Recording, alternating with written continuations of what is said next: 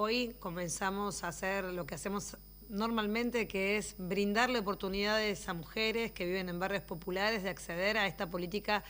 que entendemos vino para quedarse mientras seamos gobierno, que es mi pieza, que es la posibilidad de que mamás que viven en barrios populares, que no tienen ingresos o que tienen ingresos limitados para poder acceder a terminar su casa, su pieza, el baño o la cocina, puedan encontrar en el Estado, en este caso, un aliado estratégico para mejorar las condiciones de vida. Pensemos en mamás que están viviendo en condiciones de extrema vulnerabilidad y que con mi pieza mejoran rápidamente las condiciones no solamente para ellas, sino para chicos y chicas que habitan en los barrios populares de la Argentina. En el caso de Bahía Blanca, ahí tenemos una gran cantidad de barrios que están en el RENAVAP y hay una gran cantidad de mujeres que a partir del sorteo hoy, que es el octavo, han sido seguramente, y esperamos y anhelamos, sorteadas y titulares de mi pieza. La transferencia en este momento es una transferencia de 250 mil pesos o 600 mil, depende del caso, depende de la terminación de la casa, depende de cómo y de qué manera se han inscrito en, en la página de Mi Pieza. Un sorteo de manera transparente con el escribano general de Gobierno de la Nación, dando cuenta de que es una política que busca, vuelvo a repetir, inyectar 30 mil millones de pesos en esta oportunidad para que las mamás, vía el depósito en la cuenta bancaria, con una tarjeta de débito, puedan ir a comprar los materiales. Esto también dinamiza la economía local y regional de los corralones, de los que venden máquinas y herramientas para poder avanzar en terminar las casas lo antes posible. Somos un equipo de trabajo en el Ministerio de Desarrollo Social que piensa en que con los niveles de pobreza que tiene la Argentina y fundamentalmente con rostro de niños y niñas, tenemos que llegar antes para poder mejorar las condiciones habitacionales en la etapa más importante de la vida, que es la etapa del crecimiento y de las infancias. Aquella que resultara beneficiada de, este plan, ministra, debe luego corroborar, certificar que ese dinero fue justamente, entiendo, para, para este proyecto en sí, digamos, como pasa en otros programas.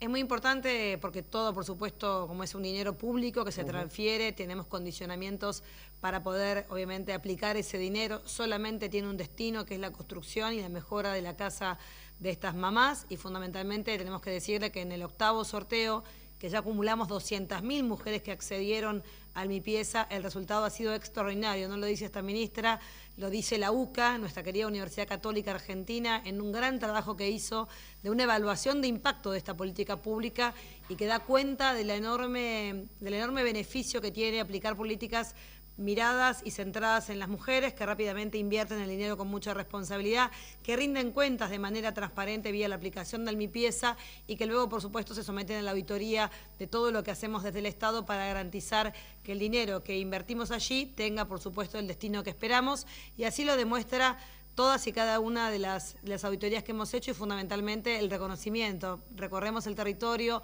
visitamos habitualmente y conversamos con mujeres y con mucha emoción nos dicen, ministra, pude terminar mi casa, saqué a los chicos de mi cama, vivíamos hacinados en una piecita de 3x3, hoy tengo la habitación para mis hijos, duermo con mi marido en la cama. Toda esa construcción de la familia y del hogar tiene un sentido muy importante para nosotros y por eso queremos llegar antes. Y para llegar antes necesitamos obviamente igualdad en oportunidades. Es realmente importante de saber que el dinero que le da sentido a mi pieza tuvo que ver con el aporte solidario extraordinario, aquella discusión de por qué debían pagar las grandes fortunas de la Argentina por única vez un impuesto. Bueno, hoy les venimos a decir que han hecho una vida más justa para chicos y chicas que viven en barrios vulnerables, que a partir del aporte solidario estamos dándole movilidad a muchísimas obras en la Argentina, más de mil barrios son intervenidos con obras de integración sociourbana, veredas, luminaria, espacios públicos, plazas, gimnasios deportivos en,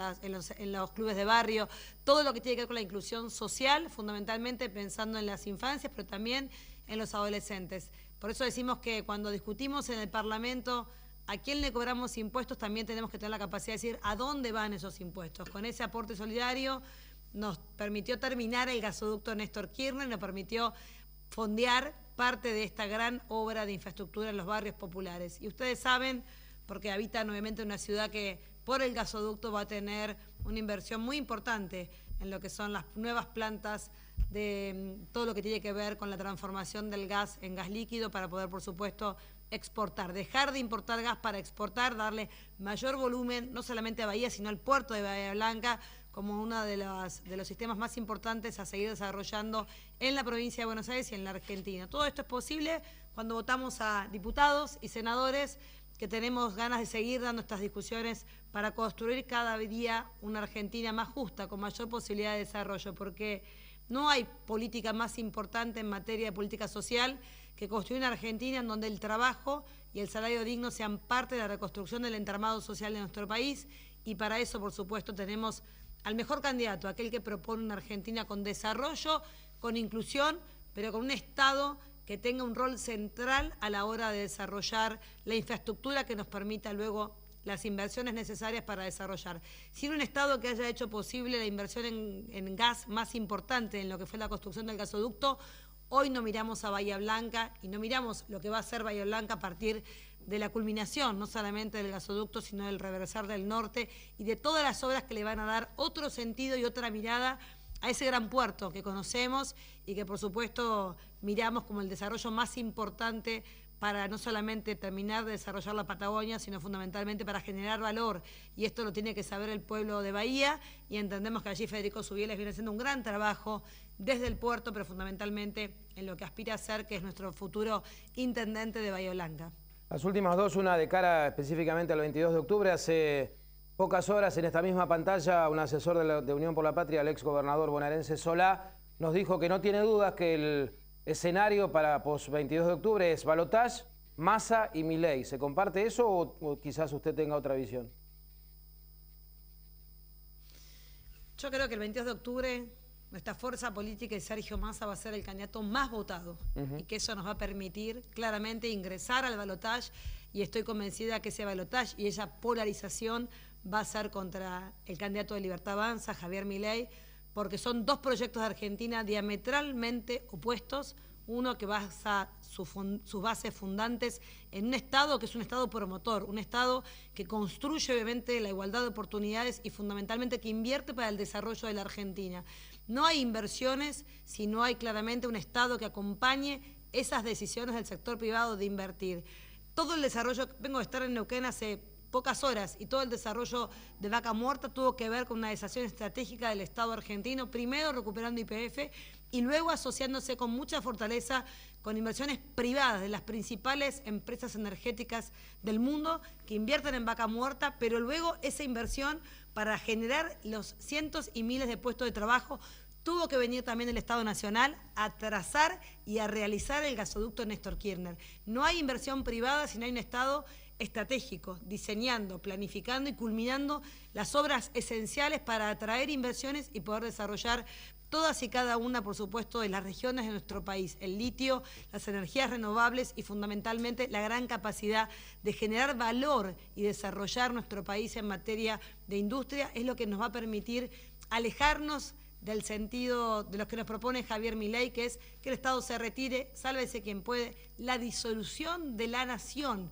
que cada provincia se arregle con lo propio. La verdad que ante ese discurso aparece con mucha potencia Sergio Massa, un hombre de Estado, un hombre previsible, un hombre que reconoce las dificultades que tenemos como pueblo, pero que está convencido que lo peor lo estamos dejando atrás y que para adelante viene un 2024 en donde en materia de exportaciones, en materia de reservas, en materia de haber empezado a alejar el fantasma no solamente del Fondo Monetario Internacional, sino de la tremenda deuda de quienes nos gobernaron hace cuatro años empieza a ser palpable y empieza a ser claramente la esperanza hacia adelante, la reconstrucción de la Argentina con un hombre que sabe hacia dónde vamos a ir y fundamentalmente sabe cómo reconocer las capacidades productivas, no solamente de Bahía Blanca, sino de cada una de las localidades de la provincia de Buenos Aires y de todo el país. Eso es lo que venimos a proponerles a nuestros queridos vecinos de Bahía Blanca en esta nueva elección el 22 de octubre, que pensemos ya no solamente en los candidatos, sino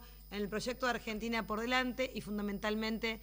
en nuestros hijos, en nuestros padres, si realmente queremos en una Argentina en donde el Estado se va a retirar, en donde vamos a tener que, si hace falta, subsistir con algo, vender órganos, si las madres van a tener que acceder obviamente a cualquier situación que necesitan un Estado, con obviamente el abandono que significa depender, por ejemplo, si no tenés trabajo, de que tus hijos vayan a la escuela solo si tenés dinero pagando un voucher o pagando un arancel. Esa Argentina nosotros no la queremos y estamos convencidos que la gran mayoría del pueblo argentino tampoco lo quiere porque son banderas